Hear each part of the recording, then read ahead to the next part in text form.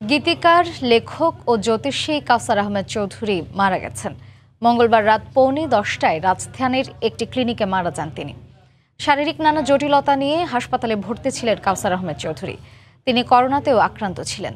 দেশের ব্যান্ড ও সংগীত শিল্পীদের জন্য অনেক গান লিখেছেন কাউসার আহমেদ চৌধুরী।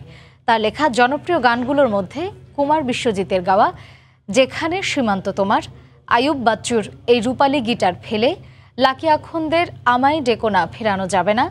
সামিনা চৌধুরীর কবিতা পড়ার প্রহর এসেছে, উল্লেখযোগ্য। একজন জ্যোতিষী হিসেবেও জনপ্রিয় ছিলেন কাউসার আহমেদ চৌধুরী। তিনি প্রথম আলোর আপনার রাশি এর লেখক।